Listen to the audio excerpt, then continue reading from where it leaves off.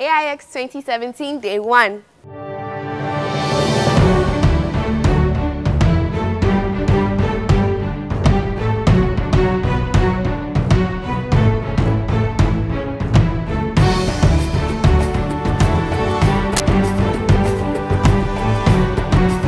I decided to come to AIX because one of my friends came here last year and said it was a really great experience.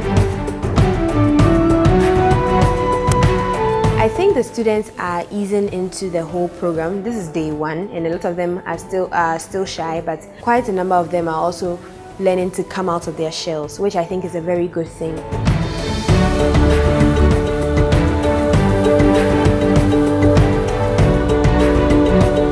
When living here, I want to live here with experience, university experience. I also want to live here with friends.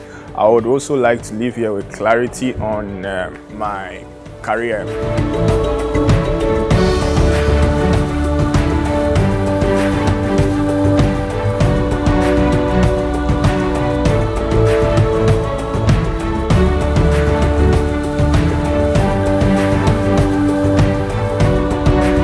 I think I'm smart.